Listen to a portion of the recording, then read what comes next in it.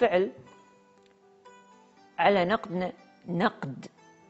اللي قدمناه على لقاء عبد الله الحبيل على السيف